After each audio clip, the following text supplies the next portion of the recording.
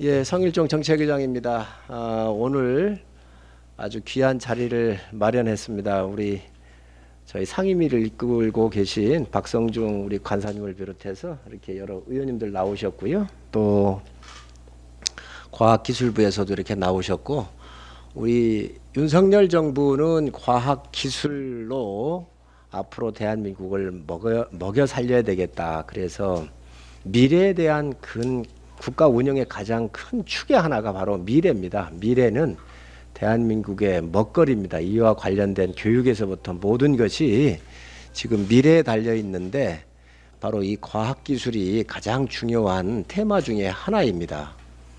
그래서 오늘 이렇게 대한민국의 대표적인 과학자들 또 학계에 계신 유수한 여러분들을 모신 것은 지금 현재 우리 앞에 과학기술이 나가는데 이 허들로 되어 있는 이 장애물들을 좀 걷어내는 그러한 좀 회의를 했으면 좋겠다. 그래서 규제 개혁에 대한 것들을 우리가 철폐를 하고 또 지금 과학기술이라고 하는 것은 굉장히 많은 우리가 아, 이 돈이 R&D 비용 같은 경우가 많이 들어가는데 500억 이상 하게 되면 바로 예타를 또 진행을 해야 합니다.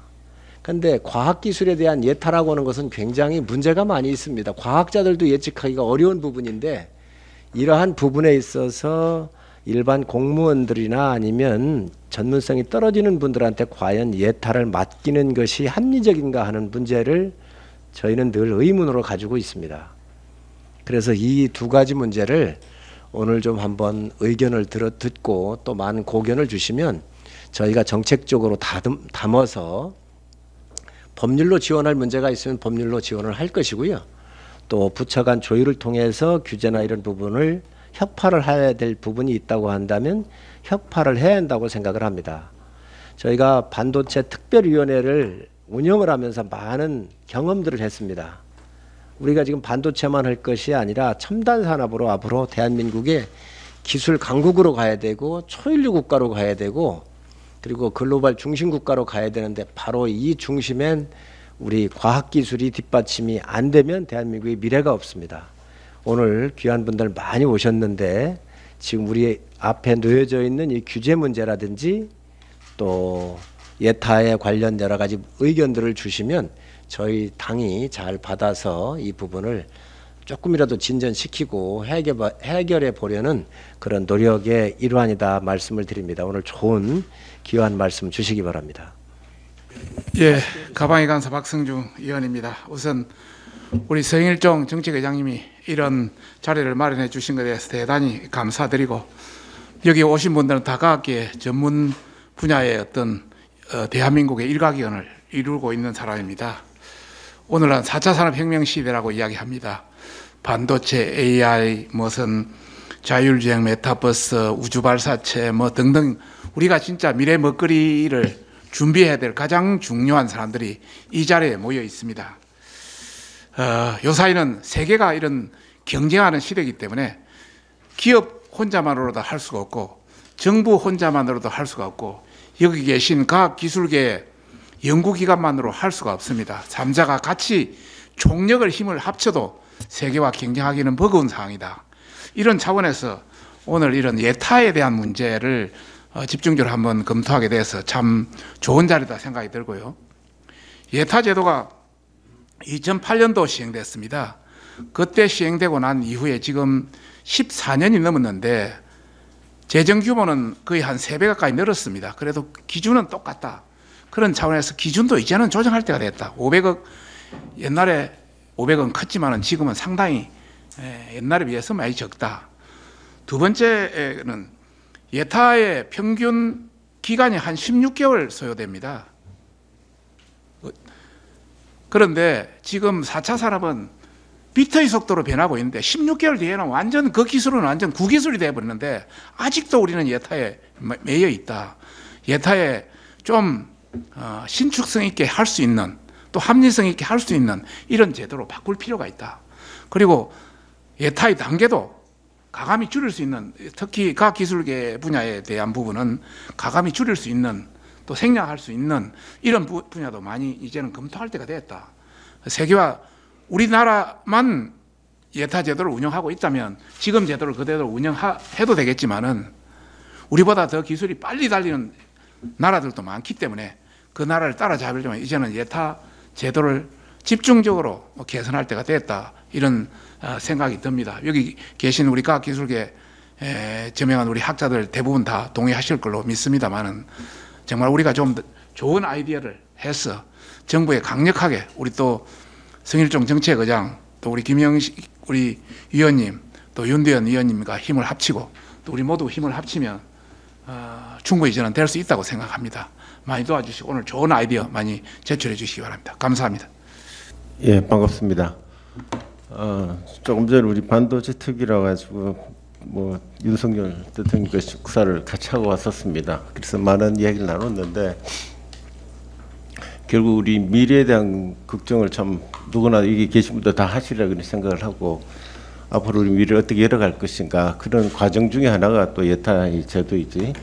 뭐 그래서 예타 제도를 우리가 이제 어떻게 어, 단계를 축소하고 빠르게 진행하는 것도 굉장히 중요합니다. 그러나 아, 중, 더욱더 중요한 것은 그 예타를 통해서 우리가 어떻게 우리가 원했던 아웃풋을 만들어낼 것인가 이제 이 부분인데 어, 그 부분은 뭐 아마 우리 윤석열 대통령께서도 식사하시면서 말씀하셨던 게 어, 이 지금 주변의 상황이 시대 변화에 따라가지 못한 부분들이 좀 안타깝다라는 부분을 지적을 하셨고 어, 뭐 시장 주도형이라고 우리가 지금 산업을 이끌고 가고 있습니다. 그래서 이게 이 연구 R&D 부분들도 사실 시장에서 원하는 부분들을 주도적으로 치고 나가는 것이 맞지 않느냐 하는 부분을 그래야 혁신이 이루어지는데 이제 R&D를 투자를 많이 하는데 우리가 얼마만큼 많은 혁신을 얻는 것이냐 하는 부분은 연구계에 계신 뭐 저역지도 학교에 있었습니다만은 아, 다한 번 정도는 고민은 해봤으리라 저는 생각을 하고 있습니다. 그래서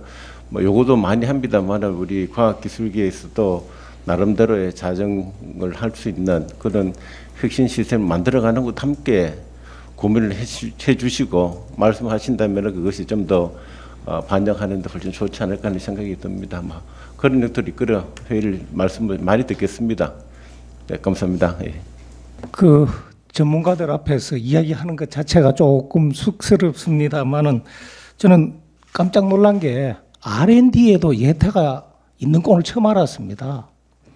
그 특히 이제 지금까지는 우리가 fast follow를 하다가 지금 이제 first move로 나가야 되는데 뭘로 성공의 확률을 계산할 수 있는지 어, 조금 궁금합니다. 그래서 이 일은 전문가에게 맡기고 상식에 벗어나는 일이 있지 않도록 그 정도만 이렇게 그 살펴보는 것이 마- 바람직한 제도 아닌가 이렇게 어, 생각을 합니다. 아마 저희 당도 그 개인의 창의력을 중요시하는 음, 그래서 자유롭게 이 하자는 그런 이 정책관을 가지고 있기 때문에 제 생각과 비슷할 거라고 생각을 합니다. 그래서 오늘 뭐 이 자리가 우리 이제 R&D의 주요한 변곡점이 되는 그런 시간이 되기를 바라겠습니다. 그리고 오히려 전문가한테 저희들이 많이 배우겠습니다. 감사합니다. 안녕하십니까 과학기술혁신본부장 주영창입니다. 어, 먼저 바쁘신 중에도 귀한 시간을 내줘서 이렇게 과학기술계와 소통의 자리를 마련해 주신 성일종 정책위원장님, 그 다음에 박성준 간사님, 김영식 의원님, 윤대현 의원님 깊은 감사를 드립니다. 어, 또한 우리나라 과학기술계를 대표해서 참석해 주신 여러분께도 감사의 인사를 드립니다. 우리나라는 아시는 바와 같이 반도체라든가 조선 원자력 등 여러 분야에서 초격차를 유, 어, 유지하고 있고요. 그 다음에 독자적인 발사체 개- 기술 개발에 성공하는 등 많은 성과를 거뒀습니다. 그에 대해서 과학기술계 한 사람으로서 굉장히 어, 자부심을 느낍니다. 그런데 최근 들어서 과학기술의 중요성이 더욱더 심해졌습니다. 그 전략기술 확보가 정말 국가의 생존을 결정하는 핵심 수단이 되었습니다. 세계 각국은 어, R&D 재원을 대폭 확대해서 전략적으로 어, 기술 동맹을 강화하고요. 어떤 국가의 생존 입장에서 과학 기술을 접근하고 있습니다. 이와 또 별도로 탄소 중립이라든가 그런 문제는 단순한 환경보호가 아니라 국가와 산업의 생존을 어, 결정하는 문제로까지 확장이 되었습니다. 이렇게 국가의 명운을 결정하는 뭐 전략 교수라든가 탄소 중립이라든가 이런 중요한 그 R&D에 대한 성과를 달성하기 위해서 대한민국은 말씀하신 것 같이 추격자에서 선도자로 진화를 해야만 합니다. 이에 대해서 과학기술혁신본부는 과학기술 정책에 수립하고 연구개발 투자, 성과까지 R&D의 전주기를 체계적으로 지원하고자 합니다. 어, 오늘 논의된 주제 중에 하나인 그 예비 타당성 조사도 이러한 노력의 일부로서요. 그 국가 대형 R&D 사업이 필수적으로 거쳐야 될 R&D 예타 사업이 여러 가지 문제점들이 많았는데 그 동안에 우리가 이것들에 대해서 파악하고 개선했던 방안을 우리 여러 어, 의원님과 또 여러 과학계 원로님과 상의하면서 그 어, 최선의 어떤 적정한 방법을 찾아내고자 합니다. 이를 통해서 대형 R&D 사업이 적시에 적정 규모로 추진되면서도 투자 건전성이 확보될 수 있도록 최선의 노력을 다하겠습니다. 어, 과학기술이 정말 중요한 성장 동력인데 우리나라 발전의 어, 핵심이라는 것을 저희가 명심하고 과학기술 정보통신부도 최선을 다하겠습니다. 오늘 이렇게 당정 그리고 과학기술계의 소통이 국가 발전의 어, 기초가 될 것이라고 생각해서 이 자리를 마련해 주신 어, 의장님과 위원님께 다시 한번 감사드립니다. 앞으로 어, 당정 과학기술계가 힘을 모아서 대한, 어, 대한민국이 과학기술 강국, 경쟁력 있는 대한민국으로 크게 도약할 수 있도록 최선을 다하겠습니다. 감사합니다. 예, 안녕하십니까. 국가과학기술연구회 이사장 김복철입니다. 오늘 이렇게 국회 차원에서 예타 관련 어떤 혁신 간담회를 이렇게 특별하게 개최해 주신 우리 성일종 정책위 의장님, 또 우리 존경한 박성준 간사님, 또 우리 김영식 의원님, 윤준 의원님께 일단 감사의 말씀을 드립니다. 제가 이번 오늘 뭐 모임을 준비하면서 자료를 찾아보니까 우리나라에서 예타 제도가 1998년에 그 IMF 맞았을 때 이제 재정 건전성 확보하는 차원에서 예타 제도가 시작이 됐더라고요. 그래서 그런 제도가 이제 진행되어 오다가 지난 아마 2018년 4월에 지금 R&D 이제 사업들에 관한 예타 제도가 이제 좀 많이 이제 좀 보정이 됐죠. 그래서 어떤 연구 현장의 특수성이 좀 인정되는 그런 형태의 어떤 변화가 있었습니다. 근데 이제 여전히 이제 시대적인 어떤 변화를 이제 과연 예타가 그동안 잘 반영해 왔는가?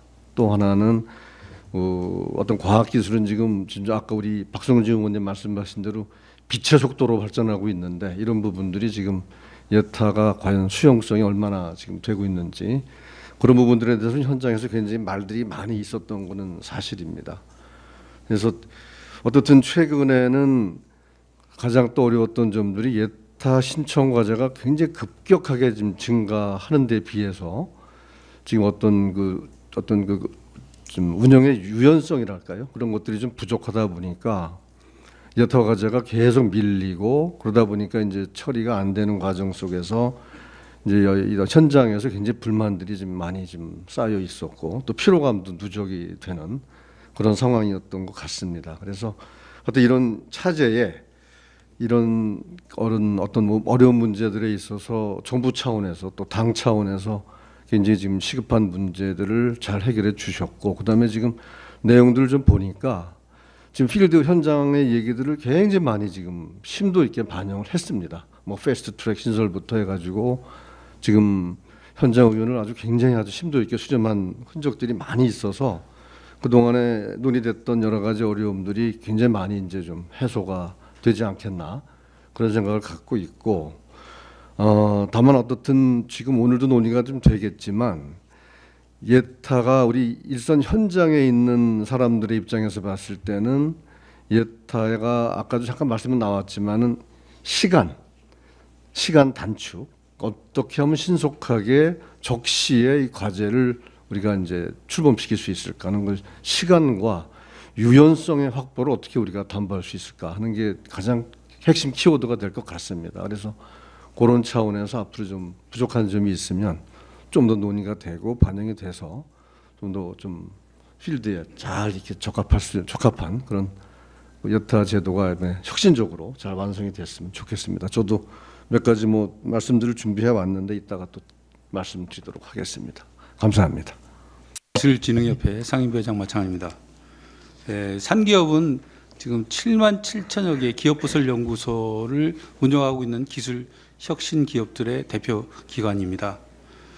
아, 오늘 아, 존경하는 성일정 국민의힘 정책위 의장님, 박성중 과방위 간사님, 윤두원, 김영식 위원님, 그리고 과학기술혁신본부장님 이렇게 어, 당정이 함께 예타 제도 및 규제 개선을 비롯해서 어, 과기의 현안 문제에 대해서 과학기술계 현장의 의견을 듣는 자리를 만들어 주신 데 대해서 감사드립니다.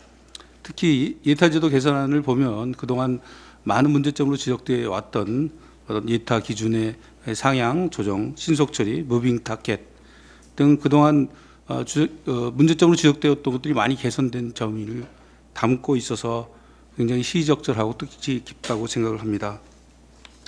특히 기술 혁신 기업들은 아, 지금 현재 국가 전체 R&D의 80% 이상을 민간이 담당하는 그런 어, 현실에서 윤석열 정부의 국정 철학인 민간 주도 성장에 깊이 공감을 하고 있고 어, R&D 정책의 민간 협력 기조의 강화에 큰 기대를 걸고 있습니다. 특히 상기업이 어, 어떤 기업의 어떤 의견을 모아서 국가 R&D 정책의 방향에 반영을 하- 하는 현재 민간 R&D 협의체를 갖다가 과기부와 같이 공동 운영을 하고 있습니다. 여기에 현재 약 200여 개 이상의 어, 과학기술혁신 기업들이 중심이 돼서 어, 자발적으로 참여를 해가지고 어, 의견을 모아서 어, 과기혁신본부에 그 의견을 제시를 하고 있습니다. 앞으로 이러한 그런 어, 민간의 어떤 의견 수렴, 국가 R&D 정책 방향이 더욱 활발히 예, 되고 확대됐으면 하는 바람입니다. 그리고 어, 현재 기술 패권 경쟁으로 어떤 인력 수급 문제가 굉장히 문제가 되고 있는데 특히 아, R&D를 하는 기업 부설 연구소에서 R&D를 하는 그런 연구 인력들의 부족이 더 문제가 되고 있습니다. 아, 앞으로 어, 이런 어, 연구 인력들이 많이 좀 기업 부설 연구소에서 활발하게 활, 어, 활동을 할 수 있도록 어떤 사기 진작, 유인책 이런 것들을 또- 또 고민을 해주셨으면 네, 고맙겠습니다. 감사합니다. 우선 오늘 예타제도 혁신을 위한 자리를 마련해 주신 국회의 성일정 정책위 의장님, 박성중 과방위 간사님, 김영식 의원님, 윤두현 의원님, 그리고 정부의 주영창 과학기술혁신본부장님과 관계자 여러분께 감사드립니다. 과학기술 연구개발 사업에 대한 예타 제도는 제가 알기에 지난 수년간 어, 조금씩 개선이 되어 왔습니다. 그런데 아직도 개선할 부분이 많다고 생각됩니다. 어, 특히 지난 코로나 기간 동안에 어, 미국에서 코로나 백신 개발을 하면서 굉장히 빠르게 움직이면서 그 민첩성이 너무 눈에 띄었고 미국의 그 저력이 느껴지는 순간들이 있었습니다. 그리고 요새는 또 반도체 인력 양성 사업 같은 것이 얘기가 많이 되고 있는데 반도체 인력 양성 사업은 대표적으로 실험 실습비가 굉장히 많이 듭니다. 그래서 인력 양성 사업을 시작하는 대학들에 대해서 특별한 지원들이 들어가야 되는데 예타 제도가 그런 면에서도 그 인력 양성 사업을 적시에 효율적으로 추진하기 위해서는 상당히 개선될 부분들이 있다고 생각합니다. 저는 오늘 간담회에서 이러한 그 요구들에 대한 건설적이고 참신한 의견들이 많이 모아지면 좋겠습니다. 우리 국회하고 새로운 정부에서 과학기술계의 오랜 수건인 예타제도 개선을 추진해 주신 데 대해서 다시 한번 감사드리면서 인사 말씀을 드리겠습니다. 감사합니다.